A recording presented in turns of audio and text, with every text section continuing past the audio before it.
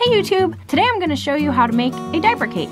I know it's not sewing, but I was making one and I figured I'd show you all how I did it. I really wanted to make it with no rubber bands to make it a little bit more eco-friendly, and I also used some things I already had to assemble it. You just need a few supplies. Diapers, ribbon and raffia, a toy for the topper, and a platter to put everything on. I am using this festive Halloween tray because it was the perfect size, and you won't be able to see the design anyway. Use what you have available. Oh, and you'll also need the cardboard from a paper towel roll. Just loosen it and pull and it will pop out if you don't have an empty one. Now we have everything we need. Let's get started.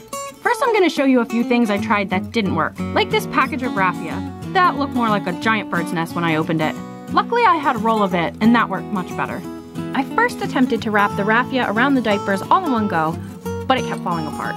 So then I cut the raffia into little strips and tied each individual diaper up. Way easier. Then I tied the first layer of diapers to the cardboard tube. Make sure you center the ribbon, or this will happen.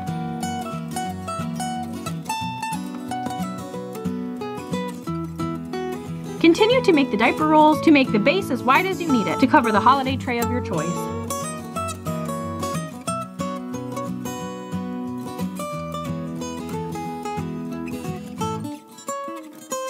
Double counted the diapers because I'm also using this as one of the games for the shower. People will have to guess how many diapers were used.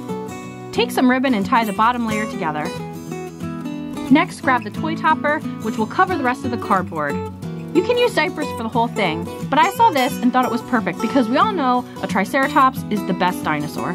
Tie the toy to the cardboard tube and make the next layer of diaper rolls. You can make them all at one time. I just didn't.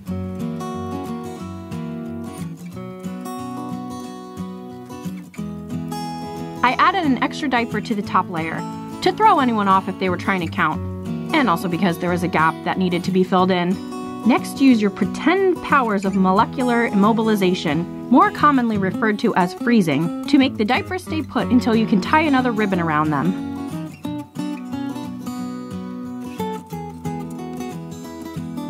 Tuck in anything that looks out of place, and you're done! This makes a great gift, as well as an easy game to play at the shower. Here's some other ideas for some eco-friendly games. Guess the baby food flavor. I bought glass jars so they can be recycled and removed all the labels, as well as wood tasting spoons, which will decompose over time. I got these from my local craft store. Keep a separate container for the used ones. I know I should have used glass, but I honestly didn't even think about this step until people started playing the game and then it was too late. But you can keep that in mind for the shower you're planning. I found a word search online and used Google Docs to put all three games on one sheet of paper. You can even print on the back if you have more games. I also got some onesies and used the leftover diapers for people to write messages on.